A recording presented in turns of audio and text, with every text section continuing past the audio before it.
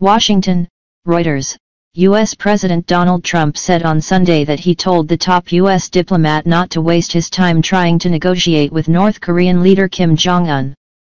I told Rex Tillerson, our wonderful Secretary of State, that he is wasting his time trying to negotiate with Little Rocket Man, Trump wrote on Twitter, using his sarcastic nickname for Kim.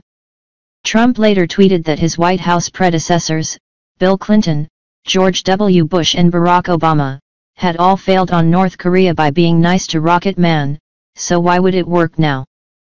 Kim succeeded his father, Kim Jong-il, as North Korean leader in 2011, during Obama's administration.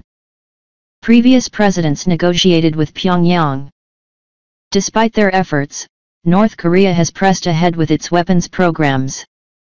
Tillerson disclosed on Saturday that the United States was directly communicating with North Korea on its nuclear and missile programs but that Pyongyang had shown no interest in dialogue. Save your energy Rex, we'll do what has to be done. Trump said.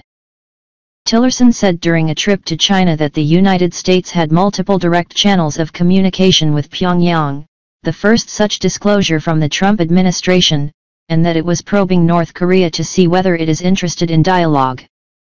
Tillerson expressed hope for reducing tensions with North Korea, which is fast advancing toward its goal of developing a nuclear-tipped missile capable of hitting the U.S. mainland.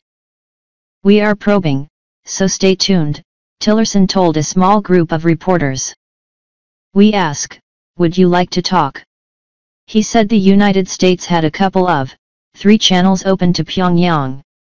A senior U.S. official, asked for clarification about Trump.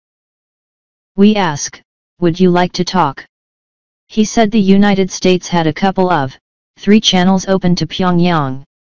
A senior U.S. official, asked for clarification about Trump's Sunday morning tweets about North Korea, played down the significance of the communication channels. At a time when North Korea is continuing its provocations, the president does not think now is the time to negotiate with them, the official said. The official also said that to the extent that diplomatic channels exist between Washington and Pyongyang, they are aimed at securing the return of Americans detained by North Korea.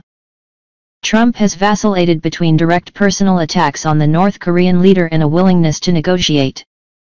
After announcing new U.S. sanctions last month on North Korea, he acknowledged diplomacy was still possible, asking, why not?